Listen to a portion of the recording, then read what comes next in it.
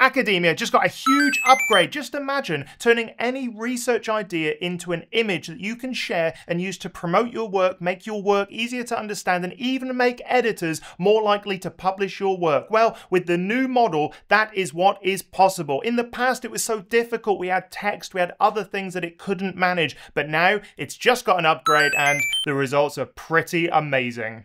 So ChatGPT just got this. It's introducing 4.0 image generation. You can see that it's got amazing text. It understands prompts, you know, this sort of like long prompt. It knew to put a reflection in. There's so much going on in this, this image. And importantly, the text bit and the people look real. Everything's great. Now, the one thing you've got to notice here is it's the best of eight. And that's going to sort of like play into our understanding a little bit later. So we've got useful um, image generation. It understands a lot more stuff. And this is how we can use it for academia and research. So the first thing I wanted to know was can it be used for graphical uh, abstracts. That's where I think it would be the most powerful, and this is what happened.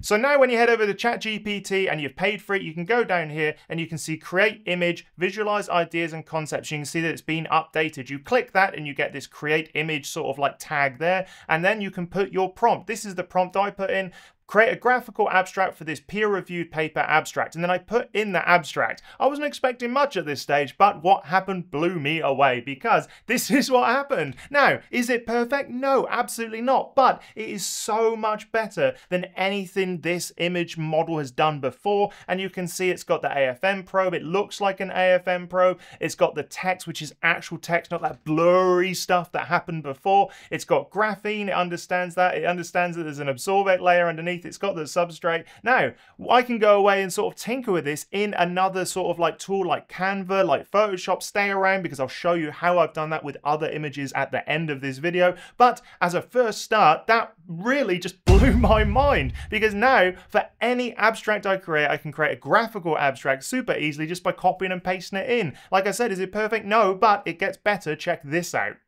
I really wanted to push the limits of this like graphical abstract thing, so I put in a much more complicated paper. So here I did the same prompt, then I said, here is the abstract, and that was the abstract, and this is what I got. Now, it's roll-to-roll production, roll-to-roll, so this bit's a little bit sort of extra, but I can get rid of that. Transparent electrode, it's got a zoom in bit. I don't know why it's got silicon or these made-up elements here, but I can get rid of those. Transmission, it actually took the information that I put into it and is actually presenting it in the right area. So transmission is 86%, it's got bending stability, and then this is the sheet resistance stuff, and then it's got like this, plus minus power conversion efficiency of 90%. Is that an appropriate solar cell? Not really, but uh, I can't believe that it's put in all of the appropriate information. Now stay around to the end because like I said, I'm going to show you how I manipulate this image to make it perfect for submission.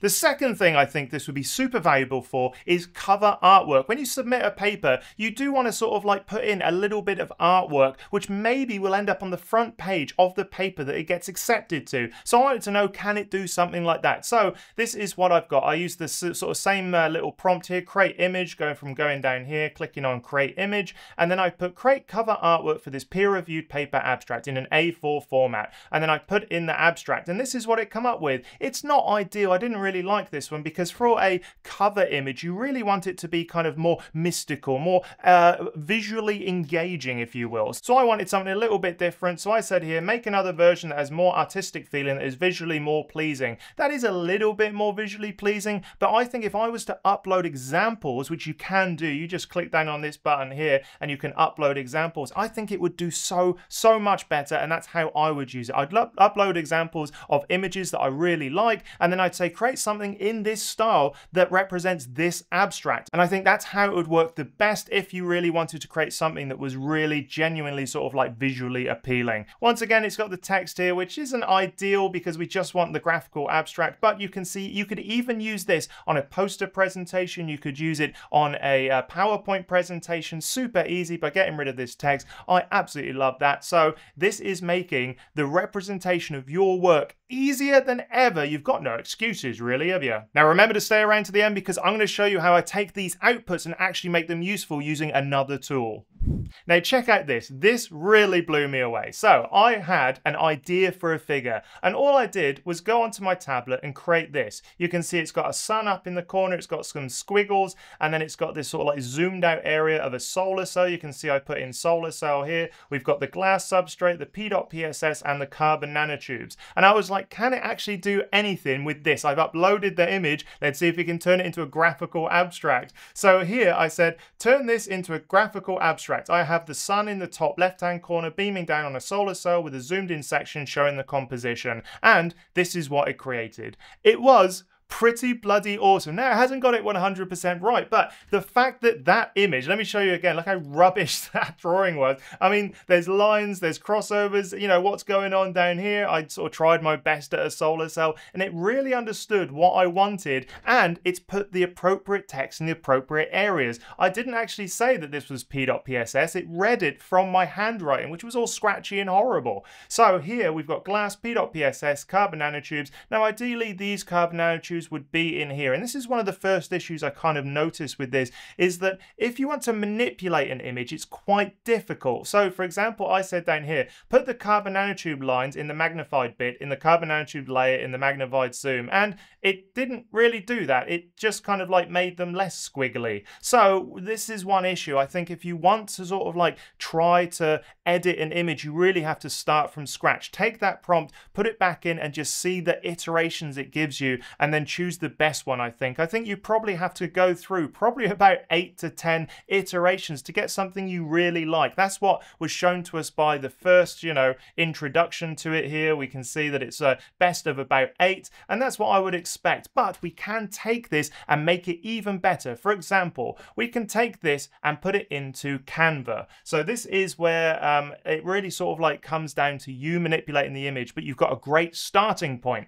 because here we've got the image image and then I can use the tools in Canva. So if I click here and click edit, there's a load of AI tools that I use all the time for creating thumbnails, for creating images, all sorts of things. And you can see here, what have I got? I've got Magic Eraser. So I use that Magic Eraser on this bit. I can sort of like highlight it all and say, get rid of this, get rid of this. I don't want any of that. And then I can just click go and it will get rid of that. So anyway, you won't see me do it because I've done it already. And this is what happened down here. Um, you can see that we've got, now let me zoom in.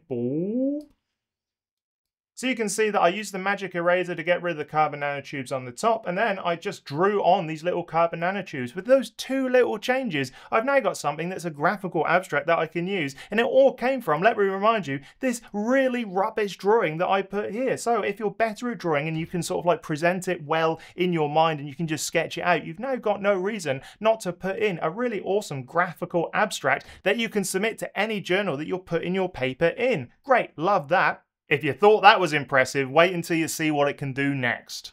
Another way you could use this is by creating images to put on your poster presentation. Now, it's always nice to put a nice image on your poster presentation that will draw people to your poster and ask you questions so you're not just stood there awkwardly with your beer or your soda water going, oh god, oh god, oh god, this is so awkward. So, this is how I would do it. Once again, I'm using the create image prompt and here I've got create an interesting graphic that would attract people to view my poster at a conference poster session. Here is the abstract and I put in the abstract here and you can see I got this. Now, I was very impressed with this. You know, obviously I don't want this text up here. And then I've got, you know, the actual figures, which is great. 6.6, it used a little comma, I don't know why, but 6.6 ohms per square, 86% transmittance in this bit here, in this sort of like wavelength range. And then this I really like. I love the fact it did that. We've got a really good understanding that that is the silver nanowire kind of like electrode. And then we've got this, which is good enough, but not really great. This is what it is. It's a composite of those materials,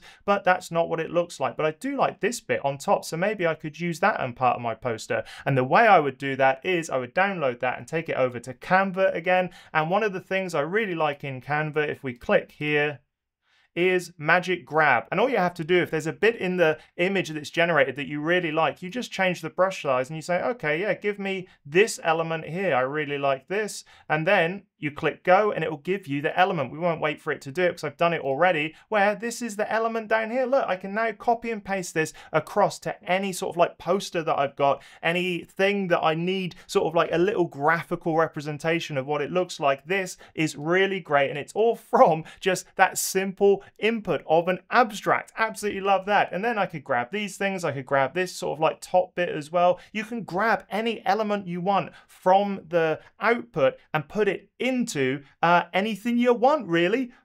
Poster presentations, graphical abstracts. You could even create like a um, cover artwork to submit to uh, journals, and also you could even just use it in PowerPoint presentations. Absolutely love it. It's easier than ever, but it's not foolproof. Here's the issues that I kind of ran into.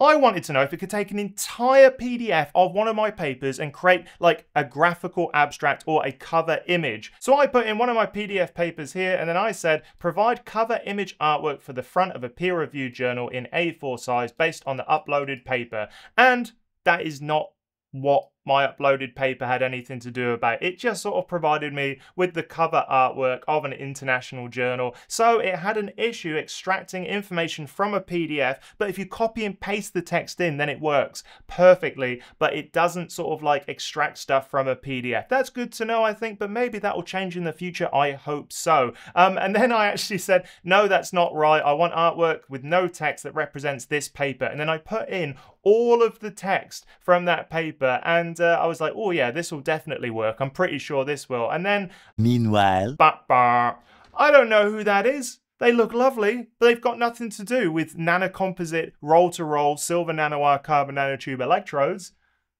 But I can't use that. I don't know why I did it. There's a little bit of an issue. And the last thing I did for fun is I went in and I put up one of my headshots and I said, change the supplied image to a professional headshot suitable for submission to a conference. For example, they're like, provide a headshot so your face can go on the, uh, the uh, what do they call it? The program. That's what it is. All right, and then we've got this. Does that look like me? Let me know in the comments because it's kind of a bit like me. It could be my brother or cousin, I think, but uh, I don't know if that is good enough. So yeah, it can't sort of like take directly your face and put it into like a suit, but nonetheless, I think it did like a pretty good job. I think you could use it, and then people, you know, see you from a distance anyway. And I think, you know, glasses, beard, bald head. Yeah, that's Andy. Done. Not great though, I wouldn't use this. If you like this video, head over to this one where I talk about using ChatGPT's deep research to save hours on your research.